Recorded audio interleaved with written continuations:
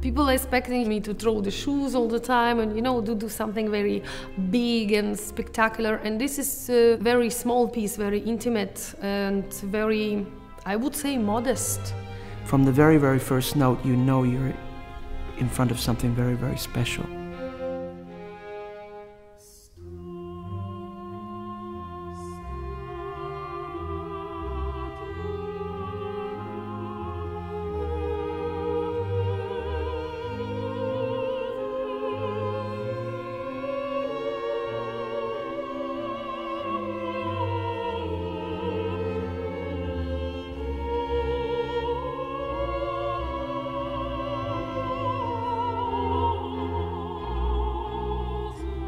The scene that it's setting, the Virgin under the cross.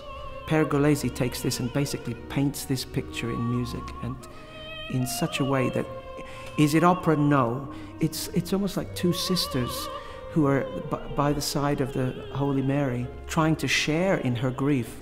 Beautiful idea. I just love so much this music. I think this is one of the most beautiful ever written music. And can you imagine he was only 23 or 24 when he wrote it? The harmony is there and the way he wrote it is just so touching.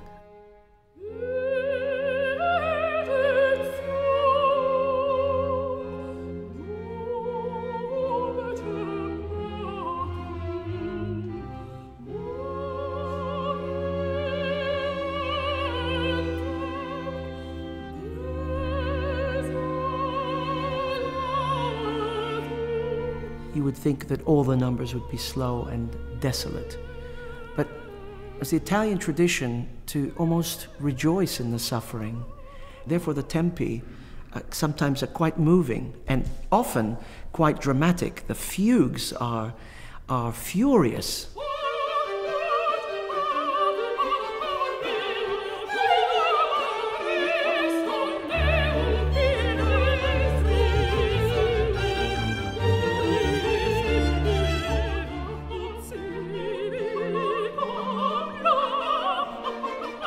Of course, we have to have a wonderful connection. When we are singing together, we're listening to each other and uh, we're trying to match our voices. Siamo, mm, ci siamo trovate subito, abbiamo armonizzato subito e poi la bella scoperta di avere due voci che veramente legano l'una con l'altra, questa è stata una cosa molto bella.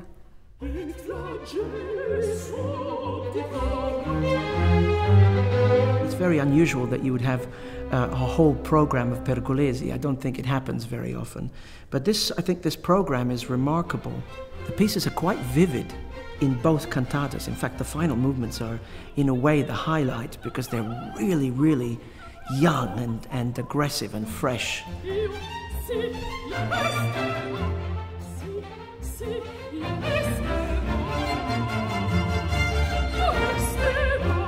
I love it so much as an artist. I opened some new page and uh, it's exciting.